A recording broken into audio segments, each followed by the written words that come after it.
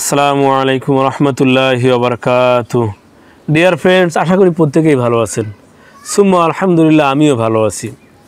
তো অনেক ভাই কমেন্টের মাধ্যমে আমাদেরকে জানিয়েছেন, অনেক ভাই বলেছেন যে, ভাইয়া, আমাদের প্রস্রাবের জ্বালা পোড়াজনিত সমস্যা রয়েছে।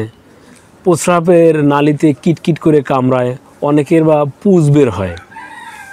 আবার শুক্রতারলজনিত সমস্যা এতটাই ব্যাপক যে, যাদের সঙ্গিনীদেরকে একটু টাচ করতে না করতেই তাদের বীজ্রপাত হয়ে যায়। তো বন্ধুরা, এর তো অনেক চিকিৎসা রয়েছে, অনেক ভেষজ রয়েছে।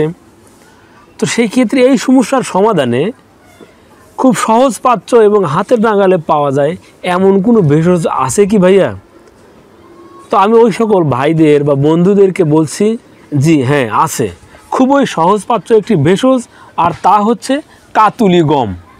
আপনারা দেখতে পাচ্ছেন আমার হাতে এটি কাতুলি গম। এটি কিন্তু খুবই সুপরিচিত একটি ভেষজ। এটি যে কোনো ভেষজের দোকানে চাওয়া মাত্রই আপনি পেয়ে যাবেন। এটি লাল চিনি বা দেশি চিনির দানার মতো দেখতে। আপনার এই কাতুলি গম ব্যবহারের দ্বারা আপনার প্রস্রাবের শুরুতে জ্বালা পোড়া করুক, আর মাঝখানে জ্বালা পোড়া করুক, অথবা শেষে জ্বালা পোড়া করুক, ভেষজ কিন্তু এই একটি।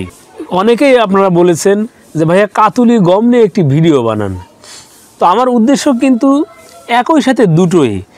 একে হচ্ছে কাতুলি গমের সাথে আপনাদেরকে পরিচয় করিয়ে দেওয়া, সেই সাথে যাতে আপনারা কাতুলি গমের কি উপকারিতা রয়েছে, কীভাবে এর থেকে আপনারা উপকৃত হবেন, আমার মূল উদ্দেশ্য কিন্তু এটা।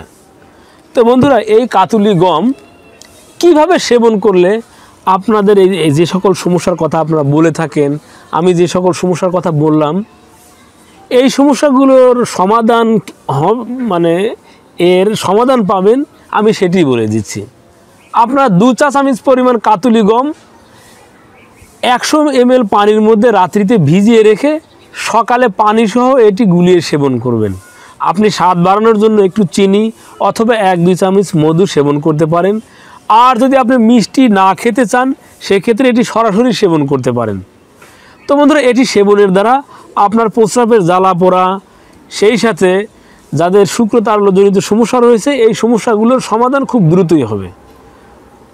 তো বন্ধুরা, এই ছিল আজকে আমাদের কাতুলি গম নিয়ে আলোচ্য বিষয়। এই ভিডিওটি যদি আপনাদের ভালো লেগে থাকে, অবশ্যই সাবস্ক্রাইব করবেন, লাইক দিবেন, শেয়ার করবেন এবং আপনাদের মূল্যবান মতামতে কমেন্টের মাধ্যমে জানাবেন। ধন্যবাদ সবাইকে।